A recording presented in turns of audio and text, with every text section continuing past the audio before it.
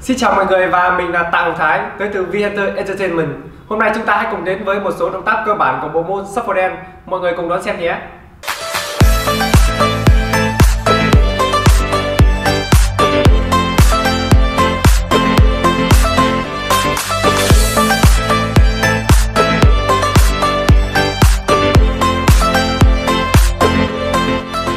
Sau đây là động tác cơ bản đầu tiên, Running Man.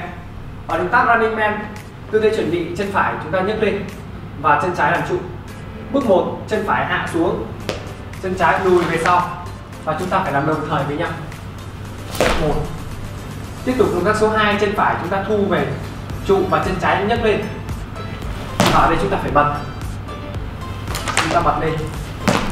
Tiếp tục tới động tác số 3 thì chúng ta sẽ lặp lại như động tác số 1 hạ xuống lùi về sau động tác số 4 chúng ta lặp lại động tác số 2 bật lên và làm tương tự, chúng ta sẽ thu được tác running man như sau. 1 2 3 4 5 6 7 8 2 2 3 4 5 6 7 ok, và sau đây chúng ta hãy cùng làm theo nhạc nhé.